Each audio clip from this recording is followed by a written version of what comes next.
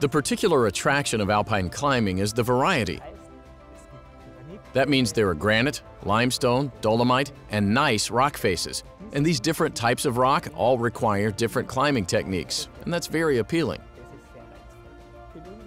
In this neck of the woods, we mostly find three different types of rock when climbing gneiss, granite, and limestone.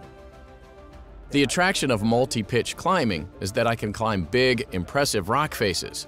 But it's also interesting to know that there are different types of rock and that I may need to use different climbing techniques depending upon the type of rock.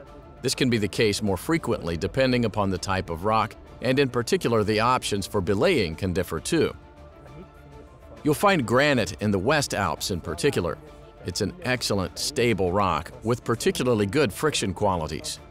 Because it's broken up with cracks and edges, Risse und Kanten äh, gegliedert ist, lässt äh, sie der Granit granite is also very good for setting up your own anchors and is very popular with all climbers.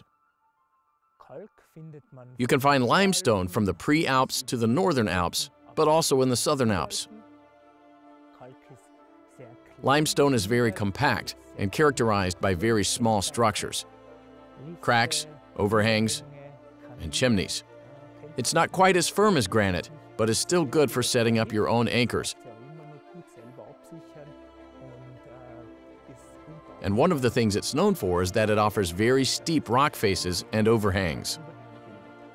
Gneiss is frequently found at the Alpine Divide. Gneiss is reshaped granite, and thus for climbing purposes is very similar to granite.